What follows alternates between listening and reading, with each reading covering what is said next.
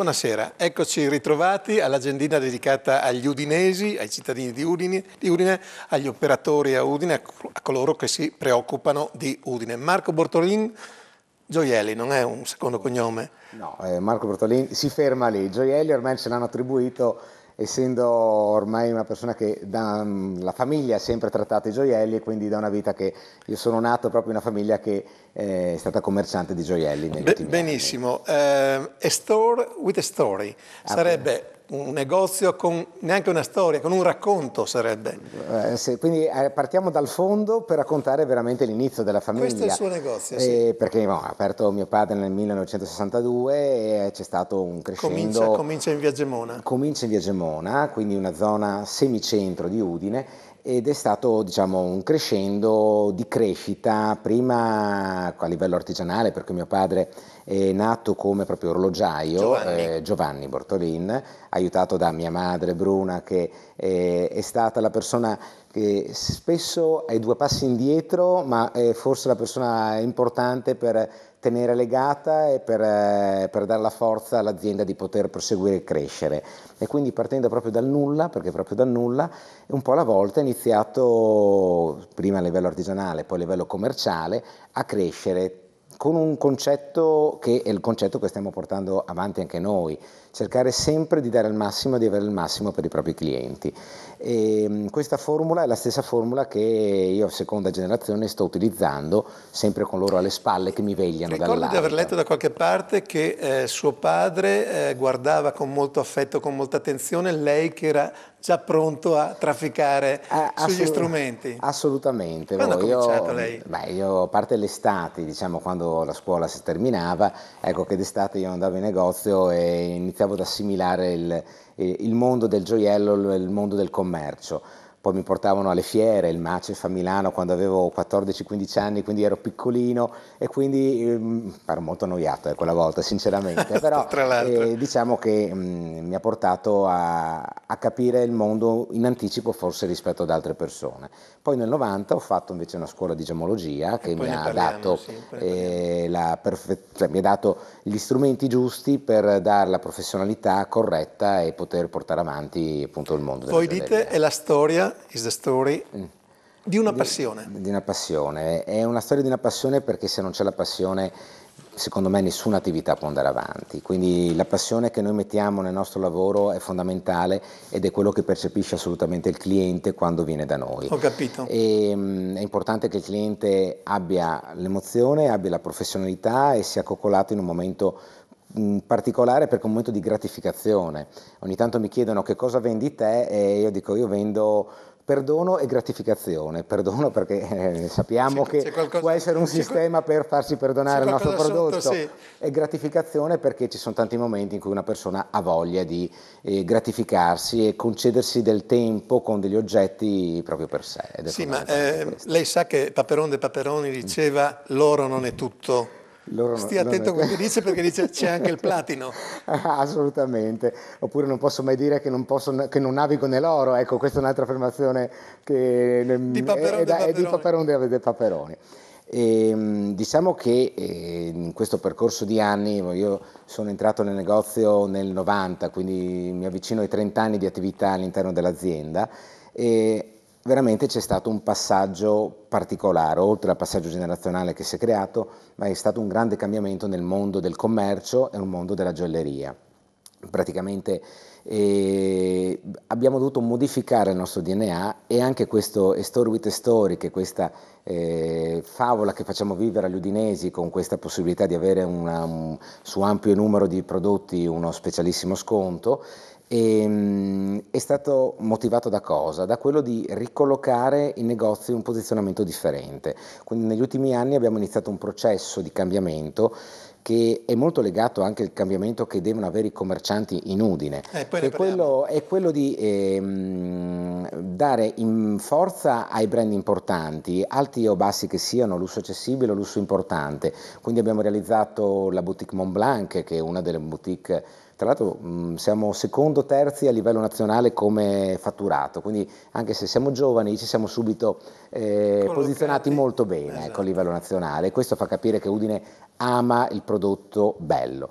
Abbiamo di recente, qualche mese fa, aperto lo shop in shop ehm, Pandora, legato appunto sempre allo spazio vicino a Mont Blanc e il prossimo anno, in primavera, faremo nascere la nuova boutique che vorrà trattare di conseguenza una serie molto selezionata di prodotti e stiamo scegliendo tra quelli che abbiamo, ci sarà anche qualche novità di prodotto nuovo. Eh, ho dato un'occhiata ai prodotti che avete, sono tutti di, di molto alto livello, poi c'è anche uh, un'accessibilità sì, per altre è abbastanza tasche. verticalizzata, sì, ecco, da Pandora eh, parti dai 20 euro in su, esatto. diciamo... Ma, ma, la cosa che mi ha colpito è che avete Solari, che di solito fa eh, eh segna tempo, marca tempo, eh, orologio a paletta. Eh. Solari è una, è una passione, una piccola una parentesi che è iniziata un paio d'anni fa perché Solari, parlando anche no, con il presidente dottor Paniccia. Massimo Paniccia, eh, assolutamente per tanti anni ho spinto, non solo io, anche altre persone all'interno della, dell'azienda, perché doveva rinascere questo segnatempo storico che segna molto eh, il nostro territorio. Noi eravamo produttori, il Friuli è un, un, territorio importante per la produzione di movimenti di orologi, solo che li facevamo abbastanza in grande perché Solari nasce appunto nella Val Pesarina e ha realizzato tantissimi movimenti di orologi per campanili, per il Friuli e non solo. Mi sono letto proprio il libro di, certo. della storia di Solari. E, e, poi c'è stata la genialata della paletta, della paletta che ormai la ritroviamo dappertutto, nelle, ormai anche in forma elettronica, nelle pubblicità, nei propri smartphone e, ed era giusto ricreare un prodotto che quando vai a New York, vai al Moment, lo trovi esposto, un prodotto di Udine, non puoi non rimetterlo in, in produzione. Sinceramente la produzione è fatta veramente come una volta, questo porta a un prezzo un pochino più elevato ma è originale al 100% Comunque, appunto, nella realizzazione. A proposito di urinesi e di urinesità, eh, dice che il commercio è cambiato, giustamente voi vi siete adeguati da Via Gemone, Via Rialto, tutte Perfetto. queste cose. Eh, com'è cambiata Udine? Udine, allora, sappiamo che dal 2008 chiamare recessione, chiamare crisi non mi piace, è iniziato il grande cambiamento e il commercio era già eh, stato un attimino vittima di un nuovo modo di proporsi al, sul territorio con i centri commerciali e quindi Udine ha dovuto riformularsi, rivedere il proprio commercio dando, secondo me, un prodotto che non puoi trovare altrove, quindi non puoi trovarlo in eh, zone artificiali, chiuse, coperte, che sono appunto questi centri commerciali importantissimi per il territorio, ma eh, devono essere di un prodotto differente da quello che Udine deve dare. Udine deve dare l'eccellenza, deve dare un servizio, deve dare una persona che segue il cliente quando entra in negozio, non puoi lasciarlo lì allo sbando che deve, deve trovare il capo da solo e misurarselo da sì, solo. Do un'occhiata, do un'occhiata. Deve essere seguito e coccolato e vedo che tanti miei colleghi del centro che hanno seguito questo cambiamento eh, stanno avendo degli ottimi risultati. Stiamo vedendo in questo periodo che ci sono anche diverse aperture nuove in centro, quindi c'è un cambiamento, un cambiamento forte, bisogna crederci e lo dico ai colleghi che tanti lo stanno facendo perché in questo momento si può veramente rilanciare Udine che è bellissima. Mm, sta venendo avanti per la campagna elettorale prossima avventura, anzi già è sì. già iniziata, una concezione di Udine abbastanza strana, dice è piena di piazze vuote, la prossima sarà via Mercato Vecchio. Lei che idea si è fatta di questa cosa? Io ho partecipato attivamente su questa situazione. Allora, eh, non bisogna andare contro quello che è l'avanzamento della zona traffico limitato, la zona pedonale, anzi è fondamentale creare degli spazi per le persone, per la gente, ma questi spazi sono come una casa. Quando lei entra in una casa, lei ha la cucina, il bagno, la sala, quando entra dentro lei crea la casa con questi arredamenti è quello che manca a Udine, manca l'arredo sul territorio, cioè non si può creare una piazza, io ho sempre mh, detestato questo progetto perché quello che viene creato, viene creato una piazza, come è successo a Piazza Venerio, come è successo in altre zone di Udine come è successo ad esempio nella in Piazza Duomo. Facciamo un giochetto, dia un voto alle piazze. Eh, Piazza San Giacomo. Piazza San Giacomo gli do un voto, gli darei un 10 e un 4, quindi media cosa facciamo? 7, facciamo un 7. Il 10 perché? Perché è una piazza strepitosa, a me piace girare il mondo e poche piazze sono belle come San Giacomo. È sbagliata la concezione e la piazza è della gente, quindi la gente deve salire sulla piazza e vivere la piazza.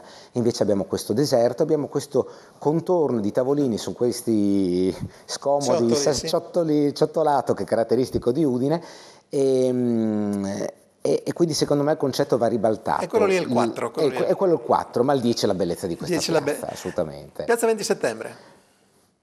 Non classificata. non classificata. 4 più 4. No, eh, lì veramente cos'è il problema? Facciamo la somma, non facciamo, facciamo cosa, ecco, non, non le medie. Allo stesso, anche questa è una piazza che è vuota, cioè non, non riusciamo a dargli una, un, un, vero utilizzo, il mercato non decolla, cioè non sta funzionando assolutamente bene, assolutamente. Facciamo Piazza Duomo allora?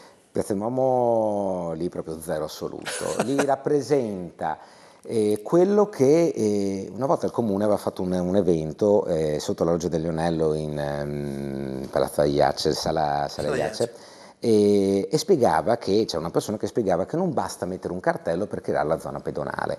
E lì proprio invece è stato fatto questo, hanno messo un cartello e qui non si passa più con le macchine va bene, ma non puoi lasciare una strada, devi anche lì creare. Cosa significa per me arredare il centro? Prendiamo, significa darle un utilizzo, creare una zona di panchine, una zona, eh, una, una zona allestita magari con del verde che non è mai concepito, eh, ed ecco che c'è il chiosco dei giornali, magari il chiosco dei fiori, il ristorantino che esce fuori, quindi da uno spazio ben dedicato, quello è far vivere Udine. E questo è già l'anticipo di quando mi chiederà del mio mercato vecchio, cosa no, voglio però, fare. Però un passaggio appena accennato. Volevo, volevo tagliarla veloce. no, no, no, no, no, ci sono spazi che veramente vanno riempiti. Ha fatto solo un accenno a Piazza Venerio.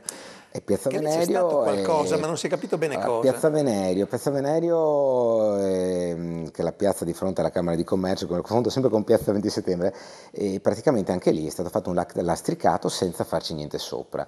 Quando c'è stato un periodo che l'hanno arredato con del verde, era diventata una piazza bellissima e la gente lo frequentava proprio per stare lì, anche ragazzi giovani, per vivere la piazza e ennesima situazione in cui non basta piasticare con delle piastrelle che siano piasentine e non eh, per dare vita a una piazza, bisogna dargli un utilizzo, bisogna dargli un senso. La pista di ghiaccio fatta adesso per questo Natale ad esempio ha un senso che può avere, cioè gli diamo un utilizzo. Possiamo chiudere con Piazza Mercato Vecchio. Piazza Mercato Vecchio taglia e incolla come si fa col computer, quello che dicevo prima per Piazza Duomo, quindi eh, è giusto eh, creare questa zona per gli udinesi però bisogna crearla in maniera corretta, non solo lastricando, ma creando proprio questi spazi per, le, per, per gli udinesi. C'è un chiosco dei giornali eh, al lato vicino alla cassa di risparmio, diamogli subito uno spazio bello, questo, creiamolo so, di vetro e facciamo questo elemento fondamentale della comunicazione che abbiamo con la gente, con eh, un bel un chiosco di giornali, i fiori lo stesso, un frutto e verdura magari che anche quello c'è in questa zona lo portiamo in centro con qualche cassettina, cioè diamogli colore e vita a questa città, è quello che vogliamo. Ho capito, di, mercato, di via Mercato Vecchio si parla da 30, 40, ormai sì. abbiamo perso il conto. Eh, lei sicuramente conosce questo, questo motto, tarda fluid pigris, eh, conosco, però cosa dobbiamo fare a questo punto? No, allora, intanto traduciamo che vuol dire per i pigri il, te- il tempo passa lentamente e poi è raggiunto velox operantis sop. Eh, eh era, ora, era, era il suo Ma padre. Cosa no? fare? Eh, quello lo so, cosa dobbiamo fare lì? Io mi ricordo del mercato vecchio cioè, quando c'è c'erano... C'è una pigrizia anche mentale nell'affrontare queste cose, credo poi alla fine. C'è stata una, una grande pigrizia mentale e io una parte di colpa la darei anche alla categoria nostra, che non ha capito in partenza che era, eh, quando è stata chiusa parzialmente che era un anticipo del futuro di quello che sarebbe successo nei centri delle città e la chiusura parziale è stata veramente la cosa forse peggiore per via Mercato Vecchio perché è una via che non si poteva di conseguenza accedere eh, nel centro della via a piedi perché? perché passavano tutti tranne che clienti perché potevano passare mezzi militari e all'inizio ce n'erano anche tanti perché c'erano tante caserme a Udine mezzi di soccorso, taxi, ehm, eh, autobus, eh, tutte le consegne delle merci quindi passavano tutti tranne che i clienti. Questa è una cosa che effettivamente è stato il grande errore. È giusto far passare nessuno, far passare tutti ma a piedi oppure far passare tutti, cioè eh, o, o, A o B, non la via di mezzo. Prima di passare alle gemme, alle, alle pietre, eh, le, le, le, le, propongo un'altra citazione che serve a, a, spiegare anche se è cambiato in questo senso il mondo. No? Dice, questo è Byron, dice il pagamento, ahimè, che cosa profondamente triste ogni pagamento. Come siamo con i pagamenti, con le truffe, con queste cose strane? Guardi, ehm, beh, devo dire che c'è stato anche qui un cambiamento notevole, quindi il, il contante che prima aveva spaventato questo nuovo modo di, di commercializzare, quindi senza, con solo una, la, la, valuta virtuale, e, mm, è stato accettato molto dal, dalla gente, quindi da un certo punto di vista eh, abbiamo avuto un'agevolazione con l'avvento dei POS, delle carte certo. di credito. Oddio, mi sarebbe anche piaciuto che quelle, tutte quelle commissioni che dobbiamo pagare per dare Beh, questa tracciabilità le... eh, possiamo, possiamo un po' scalare un attimino, pare, però intanto sì, sì. sono svariate decine Intanto, di migliaia di euro, sinceramente, via, sono molto sì. importanti. Dall'altra parte ha portato anche a subire anche delle truffe, perché? Perché il contante giustamente non è eh, tracciabile e giustamente eh, crea quindi dei, dei passaggi mh, oscuri diciamo, di, di scambio di valore però eh, gli altri mezzi di pagamento, soprattutto per cifre importanti, hanno creato dei problemi anche a noi come azienda. Okay. Una, uno l'abbiamo sventato, che sì. era una truffa da 108 mila euro, e, mm, grazie... Avete telefonato a Napoli mi pare quella volta. Abbiamo telefonato a Napoli, era tutto perfetto perché per telefono tutto era perfetto, però qualche sospetto continuava a esserci devo ringraziare una, una persona che lavora, facciamo un minimo, Udinese Channel, Banca di Udine, possiamo legarlo oppure già... Non lo so, poi parlerà con la proprietà. Vedete voi, e una persona che lavora all'interno, Alessandro, grazie ancora perché è stata una tenacia di una persona che mi ha permesso a me di sventare una truffa molto importante. Senta, ri, eh, diploma... Tra l'altro, eh, comunicandolo poi ai colleghi, anche, siamo riusciti a prendere delle persone perché grazie alla comunicazione, a questa rete che abbiamo creato tra mh, commercianti nel gioiello, eh, quando hanno provato su Ravenna a un mio collega siamo riusciti a prendere almeno la persona della strada che è andata in gioielleria. Va bene, diploma in gemmologia. Diploma in gemmologia. Senta, la gemologia, lo dica velocemente perché sta scorrendo il tempo inesorabile, cos'è? La gemologia è una scienza che quando l'ho studiata io negli anni 90 era una scienza abbastanza fresca, quindi ero, eravamo poche centinaia di gemmologi e adesso fortunatamente è diventata una cosa più comune perché eh, è importante che la gente, anche le persone del mestiere del settore, sappia quello che dà e quindi dare nozioni corrette e certe al cliente finale.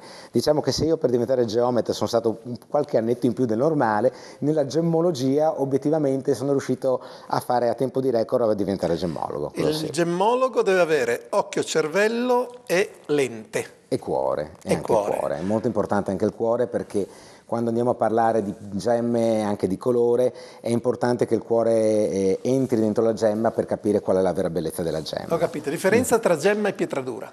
Beh, la pietra gemma è un generico, la pietratura è una parte di queste gemme, non è che la pietratura è una pietra più brutta, eh, ha delle caratteristiche diverse, forse più comune rispetto a delle gemme dove la trasparenza crea più problematiche in inclusione, in colore e in brillantezza. Mm, attorno alle gemme, attorno alle pietre preziose c'è anche una certa simbologia. Sì, assolutamente. Assolutamente sì. Eh, io vorrei fare un altro giochetto, ma credo che sia troppo, troppo pericoloso.